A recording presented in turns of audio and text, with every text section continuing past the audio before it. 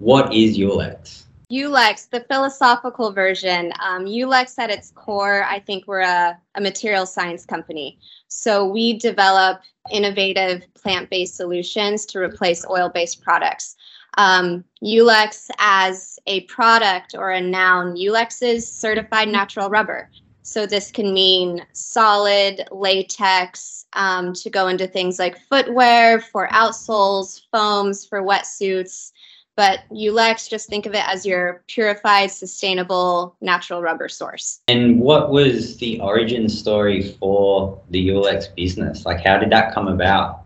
Early 2000s is when Yulex actually started. Um, so Yulex came about by working with a desert shrub called guayule and then it eventually moved to the rubber tree or Hevea brasiliensis. And I would say got more traction when we started working with Patagonia on wetsuit foam to replace neoprene. So Yulex really got its notoriety from being the world's first replacement for neoprene or chloroprene rubber. Can you tell us a little bit about uh, where it's farmed and what those conditions are like and sort of talk us through the the process of creating the Yulex? Sure. So we're really geographically diverse. So we work with plantations in Guatemala, Sri Lanka, Vietnam, and Thailand. And we work with both FSC and PEFC certified supply chains. And this ensures uh, no deforestation and just fair pay and benefits for the workers that work on the plantation. And most recently, our work with PEFC is just really exciting because we're actually the first company to share profits with the smallholders which has never really been done before. So these small holders, they're family owned farms. Some have as little as maybe 10 acres that are contributing to the worldwide rubber supply. And smallholders make up, I think it's over 180,000 smallholders are part of the PEFC program. And we're the first uh, first company to actually give back to these smallholders or a profit sharing program. What is the process that it goes through? So it's the trees grown on the farms. What happens next? So you have your rubber tree, you tap the tree, kind of like maple syrup, how you tap it. So this liquid latex comes out. And I think the best analogy when I talk about foam production is kind of like cooking or um, like making making bread or making a cake. So you have this base polymer, which is rubber or like flour for bread. And then you have your things that you add to it. So you have fillers, you have blowing agents to give it texture, cell structure. And once these, all the ingredients come together and are masticated, they essentially rise to create the foam, which is a master bun or a slab in industry terms. And the slab is then sliced and it's ready for lamination after a curing period. So once it kind of cools down, it's ready for lamination. So the process of making Yulex foam is essentially the same as making any other foam. It's just the base polymer is different. So you have natural rubber versus a synthetic. Is there any nasty chemicals or nasty processes involved with that transformation? You mean like as nasty as neoprene? Exactly. exactly. Um, no.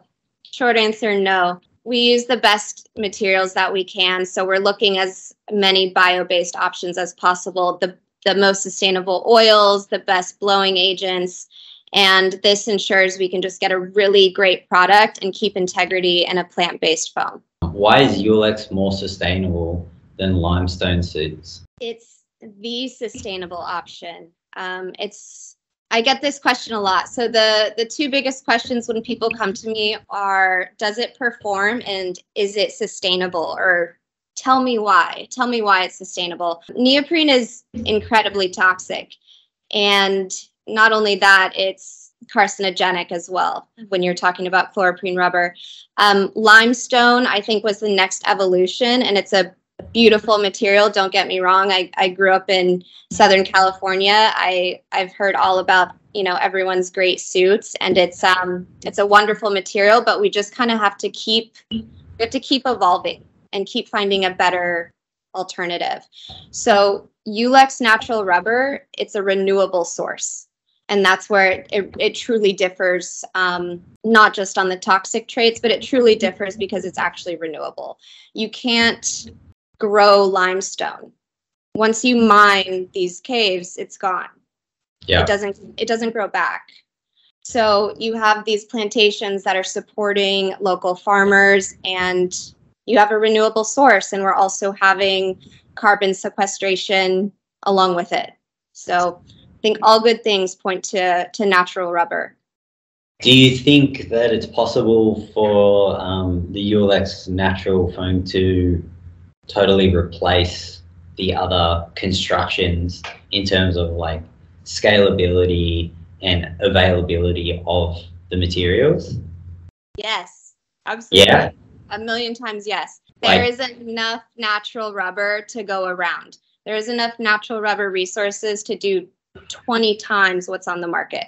Early on, there wasn't um, the certification for FSC to cover all the raw materials, but the more companies are working with FSC, the better we're getting away from we call it conflict rubber. The more we can improve on these certification bodies using FSC and PEFC, we're just increasing the supply so you know where your product is coming from, which I think is something different working with Yulex is we we kind of take you on the adventure, right? So if you go to the Yulex website, like you can see you can see us at the plantations. And i'm actually going out to uh, vietnam and thailand i think in about two weeks. I have to get my visa. Um, i'm going really soon. But um, you know we're we're there on the plantations and there's just such an abundance and we can truly transform the industry. Yeah we agree. We um we're pretty excited about committing to all future production to be in Yulex and you know moving away from any of the other constructions. So for us, it's yeah, it's a clear path forward that we're yeah we're really excited about.